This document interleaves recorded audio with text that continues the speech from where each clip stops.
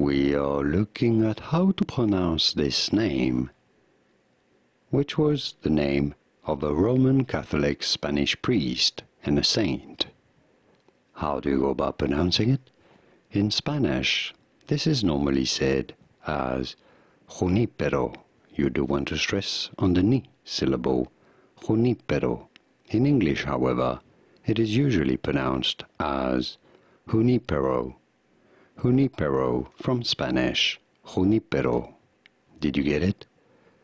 Was this pronunciation useful? Let me know in the comments. Here are more videos on how to pronounce more names whose pronunciations aren't exactly always obvious. I'll see you there to learn more.